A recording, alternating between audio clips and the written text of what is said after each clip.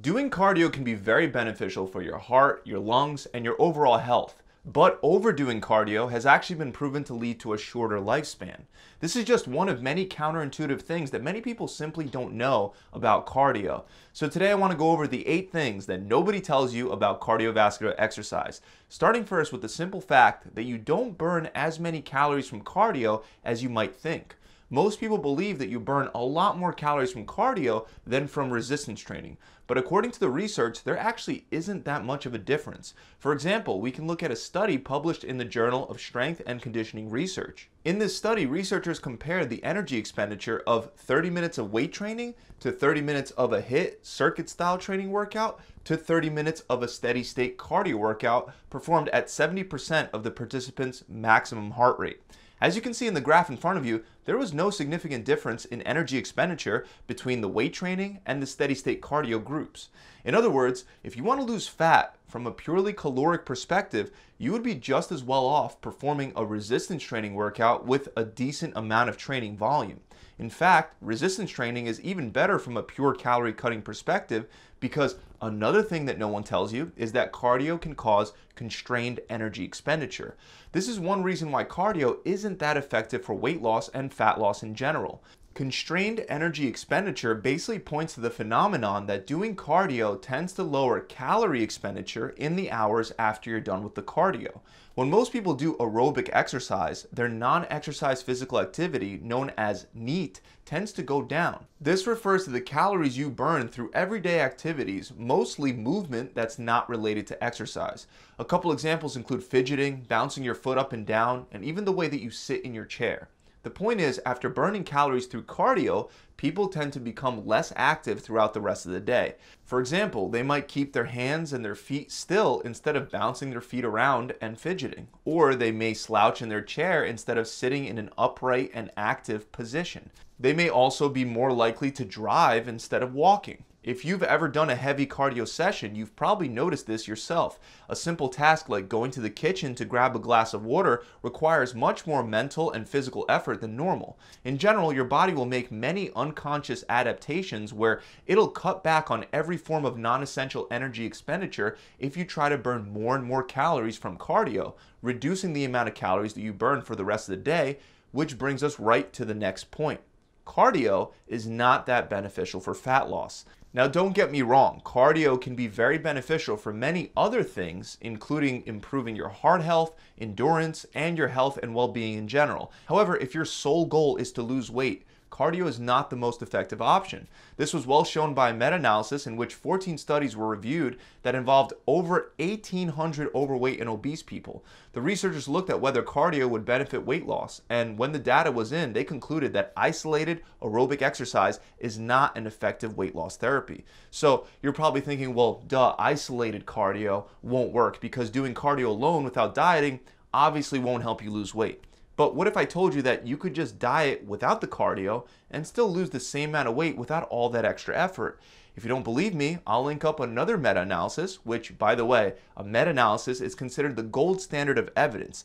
But this other meta analysis also found that adding cardio to a diet plan did not increase weight loss compared to just dieting without the cardio at all.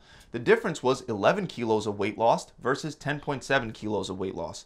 So if you're doing cardio to improve your cardiovascular health or your endurance capacity, you're on the right track. But if you're doing cardio to lose an extra 0.3 kilos, which is the same as a little more than half a pound, I think you're wasting your time. Another thing that most people don't realize is that cardio can slow down and reduce your strength gains. Most people do cardio with the hope that it's going to help them lose fat, but losing fat by doing more and more cardio rather than focusing on your diet will very likely lead to a reduction in the amount of strength that you gain from your workouts.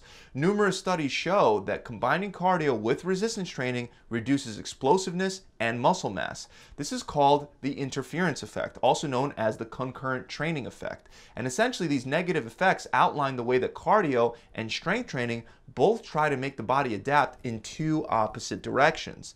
This leads to subpar results in both. I've actually experienced this personally. In the past, when I've worked on increasing my squat strength without any cardio, I've been able to get my weight much higher than when I'm also running long distances. Same thing vice versa. If I focus on only running long distances for my lower body workouts, I can improve my pace and the time it takes me to run a certain amount of miles by focusing just on lower body cardio.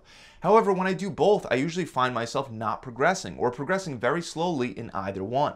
This is because your body will quickly make adaptations based on the type of exercise you perform.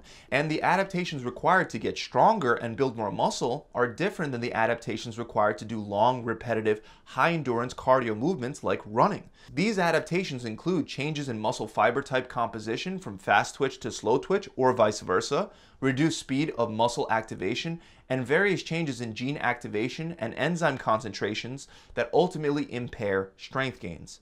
Right along with impaired strength gains, most people won't tell you that cardio can also impair muscle growth. We can look over at a meta-analysis that took a close look at the effects of combining cardio and resistance training on muscle growth.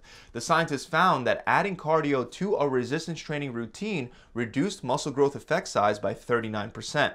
One thing that I will mention is that this study was slightly flawed because they were looking at lower body strength gains being diminished when combined with lower body forms of cardio.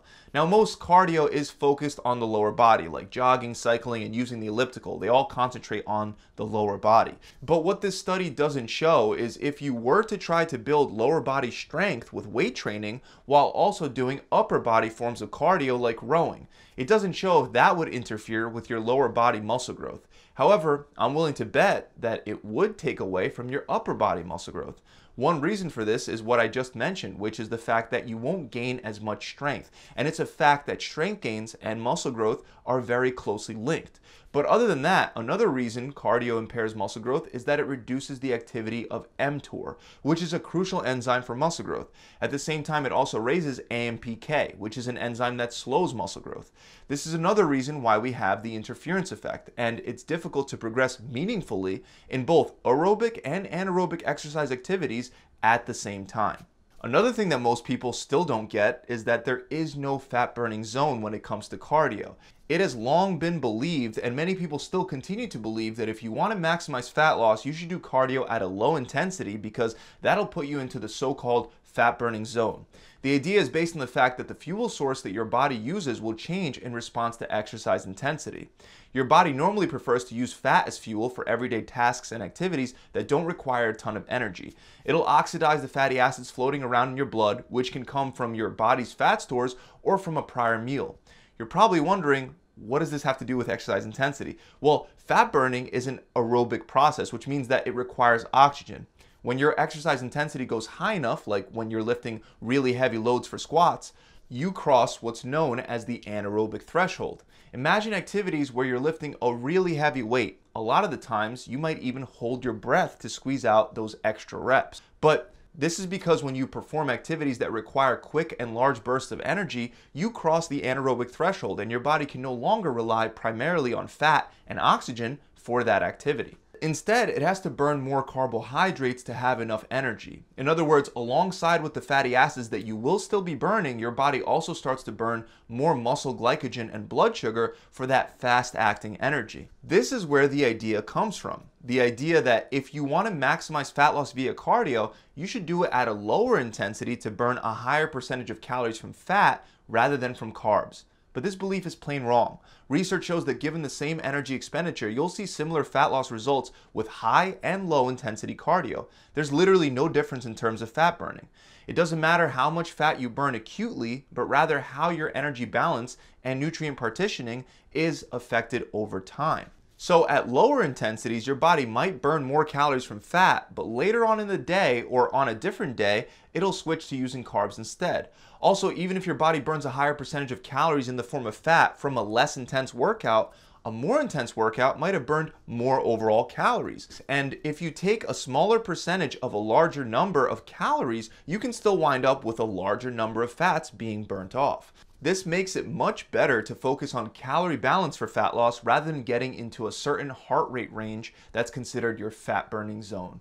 And on the same topic, we have fasted cardio, which many people, including myself, have believed in the past that it'll burn more fat but it doesn't burn more fat. It's easy to think it does because when you're fasting, you'll have lower insulin and glycogen levels, which should, in theory, enhance fat burning. To put it even simpler, if you don't have any energy to use from the last meal you ate, your body will be forced to use stored carbohydrates in the form of glycogen and stored fat in the form of body fat. But is this actually true? Well, part of it is true, but in general, fasted cardio does not lead to faster fat loss.